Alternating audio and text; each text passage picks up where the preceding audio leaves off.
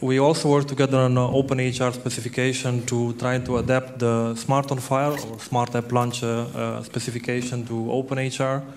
It's a work that uh, started uh, about a year and a half ago, I think, uh, with his MedBlocks company. And um, in the last few months, uh, we work uh, hard together to try to say what we need from openEHR perspective. So what, what we miss in a FHIR specification, what we need to add in order to have also um, openEHR um, support. So um, Sidharth will present the results of those uh, specifications. So he also implemented the whole flow. And currently the specifications are in a, a draft uh, version. So if you have any contribution or if you if you think anything is missing, you want to might want to review it, you welcome your feedback. This is my parents' hospital in India. They're both uh, ophthalmologists and they have their own eye hospital. It's called Aarti Eye Hospital. And uh, when I finished my medical school and I told them that I'm not going to become a doctor, I'm interested in health informatics and IT, they're like, okay. Uh, we don't really understand what you're doing. We don't know what this openEHR is. We don't know what FHIR is. Uh, but okay, we have an EMR in our hospital we don't really like it right now. Uh, it's been developed by this uh, one single developer about 10 years ago. Can you help us? Can you uh, make things better for us? So these are my uh, parents, and uh, you can see the disappointment in my father's face there. but uh, so we actually um, started on the journey to revamp the whole system. And this is, you, you get like 500 patients a day uh, in this hospital. So it's a proper tertiary care hospital, do surgery, OPD for anything related to ophthalmology.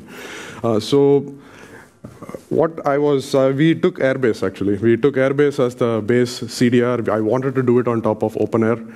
Uh, I wanted to use the best practices in the industry and actually build something. Uh, and I was searching for an application that runs on top of openEHR, and I wanted an ophthalmology application that I can just take and extend for our use case. But I found none. There was no ophthalmology app that was just available. And so we had to re-engineer exactly what was already available and build it from scratch.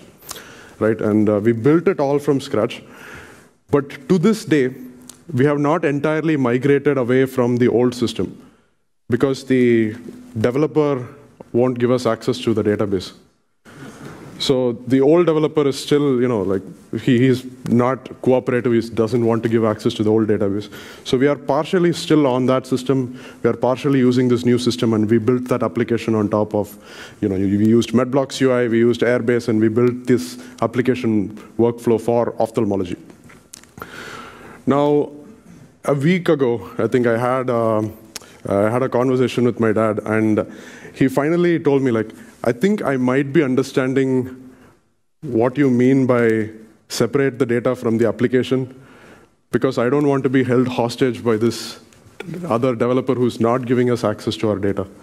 I don't want to move from uh, developer to developer or you know vendor to vendor and just keep losing my data. He intrinsically understood that, and he knows nothing about. I mean, he, he still asks for help when he wants something on WhatsApp. So he intrinsically understood the need for data platforms and why data platforms are needed.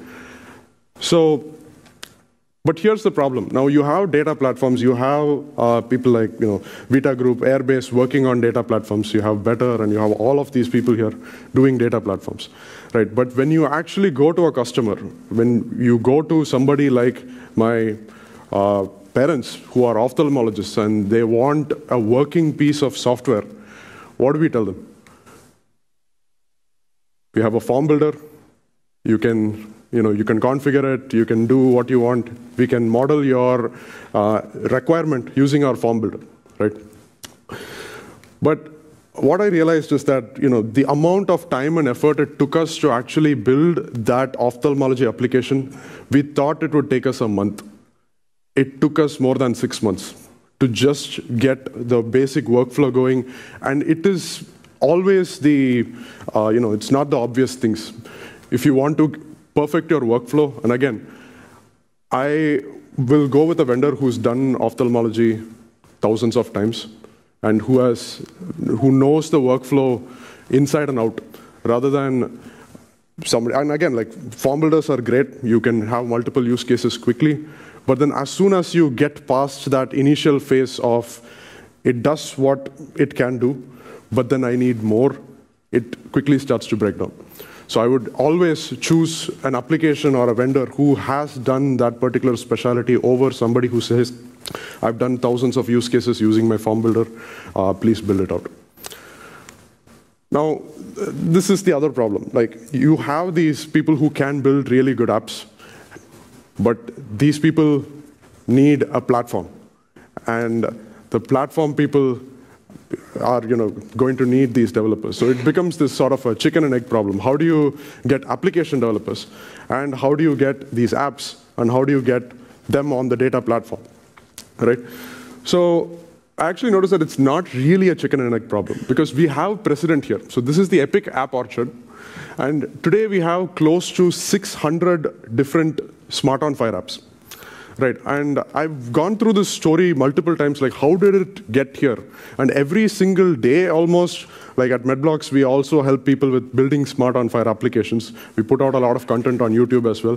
Every single day, we get a request, can you help us build a smart on FHIR application on top of Epic? Right? Every once in six months, I get that request for EHRbase or openEHR. So how did this happen? How did we get here? Right? So Smart started out as a standard. It was within a niche community, and you know they had like today they have 42 open source applications, and it was all theoretically put down in a paper how Smart works, so on. And then the government decided that by 2023, every single EHR in the US needs to be compliant with Smart on FHIR if they are in the healthcare space. Right. So they basically like just kicked every EHR until they were compliant with this protocol. And you see this number. So it's not a chicken and egg problem. You need the data platform first. And you need the data platform first and the apps will come. Right? So use the data platform, have it there, and as soon as you have the regulation and you have something that pushes people to use some protocol, the apps will come right? That's what I believe in. And in fact, we need to like break down what an app ecosystem really needs, right? So you need a vendor-neutral API, you need some sort of an authorization or permission model, you need a distribution format, okay? So let's take, for example, Android. You have the Android vendor-neutral system APIs. You have the authorization model. Pretty sure you've seen that in apps when you install them. And the distribution format is an APK. You can you know, also download it through the Play Store. You have an APK file that you can distribute. Uh, now, uh, web apps also have a very good application model where you have you know, HTML, CSS, JavaScript that runs on any vendor-neutral browser, and it can run with multiple browsers. You have OAuth 2 as the standard for authenticating and authorizing today. And the distribution format is just the URL. And what did Smart on FHIR do? The vendor neutral API is the FHIR APIs, and the authorization model is Smart, which is just a slight extension on top of OAuth 2 to make it work for the clinical context. And the distribution format is again a URL. You pass an app as a URL. So when you say, I have an application ready, all you need to give someone is a URL. So what essentially you're doing is you're moving trust. Uh, so instead of having the trust between people, which is far, you move it to the protocol. You move it to the platform and the applications. So these uh, applications and the platform can work without people being involved and without these people explicitly uh, agreeing on how to really make their apps work together. So we published the Smart on openEHR spec uh, on 8th October. It's uh, in very fresh. It's really fresh the, so you know, it's very new. Uh, and I'll just walk you through like how it works, what we are doing here. And uh, Sebastian Iancu have, has been like pivotal to the spec as well. We've been working together on this. Um, so it uses FHIR openEHR plus other APIs as the vendor neutral API. So we understand that openEHR today is being used with FHIR in a lot of use cases. So I know that uh, Vita Group, for example, does they store patient encounters in the FHIR server. Better also does that, and a lot of other people are using FHIR for non-clinical information because we don't have a better option other than FHIR. And openEHR for the clinical data. But we also realize that there is this need for other APIs that might show up, DICOM Web, uh, maybe an object storage. Maybe there are other APIs that we don't know about. So we've made the specification open so that there is a easy way to extend it beyond openEHR FHIR to other APIs. It might be your own proprietary APIs that you want applications to use. Authorization model still stays the same. It's exactly the same smart specification that Smart on FHIR uses. We are backwards compatible with Smart on uh, FHIR as well. And the distribution format is just the URL. Okay, demo time. So uh, Code24 has built an app. And in fact, this was integrated in the past three days. So we were able to integrate this in, the, in just three days because the protocol was already available and you know uh, we had all of the pieces in place. So Code24 has a patient portal app where the patient can log in and persist information. They'll use the Medblocks clinical data repository, which is based on EHRbase, and we have the smart authentication layer on top. And this will be read by another application developed by the Karolinska uh, University Hospital called the Tip2Toe app.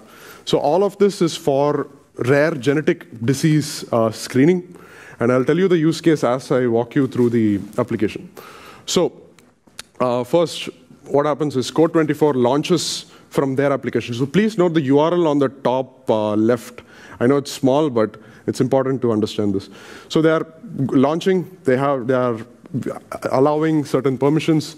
They're going inside a specific patient, they're selecting a specific patient, and now we are coming back again, like notice the URL, we are coming back again to Code24's application, and uh, this was my network. It's uh, not Code24's fault. But uh, uh, so now we are in the application right now, and we have information about the current patient.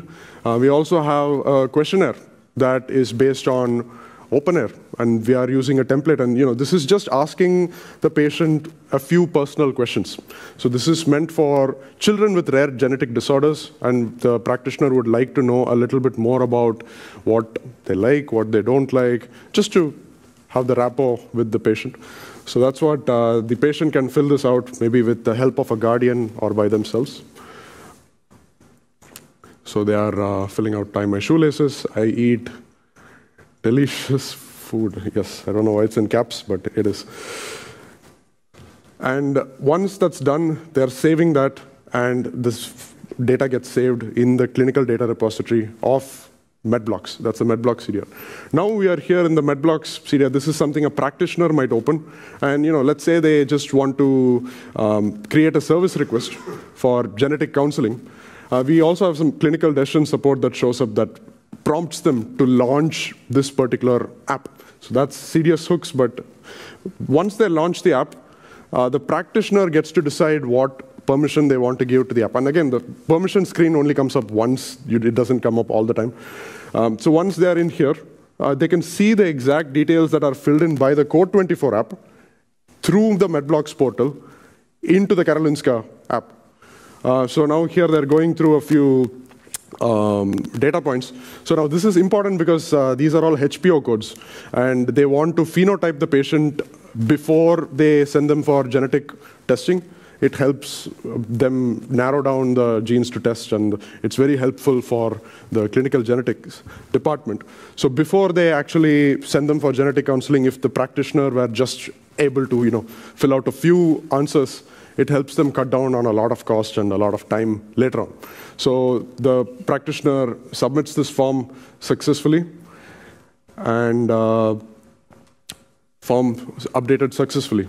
And we just saved the genetic counseling department maybe two, three hours of time per patient.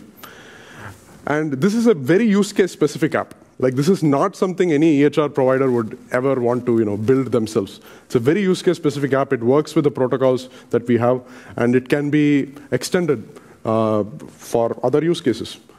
Now, how did this all work? Like a quick walkthrough. I know I'm running out of time.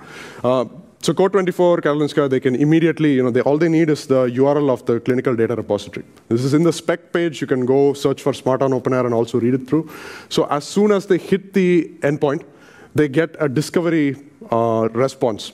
So this has all the URLs you need to authenticate and access the clinical data repository.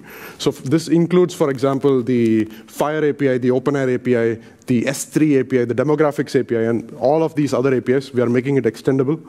And once that's there, they just need to do the authentication authorization flow according to OAuth 2 and Smart. I think a lot of you already know about Smart, so I'm not going to go into the depths of this. Uh, so there are multiple types of launches. We are supporting almost all of the, uh, the standalone and the EHR embedded launch, the patient and the practitioner launch.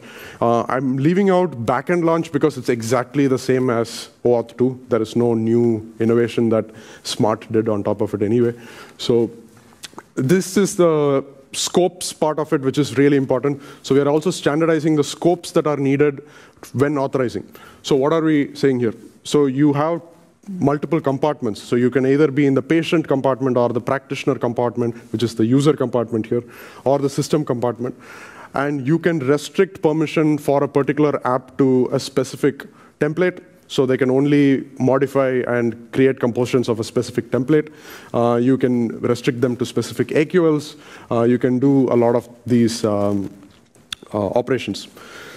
So that's what you see in this screen on the right side. When they get the consent screen, uh, that's what you see. So how do you start adopting? You know, first is specification board. We need to really come up with a conformance testing for actually verifying if somebody is smart on FHIR compliant, right? And next is definitely going to be procurers and policymakers because applications will start coming in as soon as you put it in writing that you need to be smart on FHIR, I mean, smart on openEHR and smart on FHIR compliant. It's happened before. We've seen proof of this happen in the past. So it, it needs to work here. And implementers, yes, there are probably going to be RFIs and procurements. If people are seeing this, they might uh, start that. So we are already running this in production. These, we have all of these apps. We have these patients. We are running this. It's using EHRbase. Uh, and we've, it's been working great. And that's the number of launches that we've had so far. Um, so some people like to say like practitioner first, patient first. I say developer first, and let the practitioners and patients decide because they have the option to now decide between multiple apps. So thank you. Uh, you can find us here as well.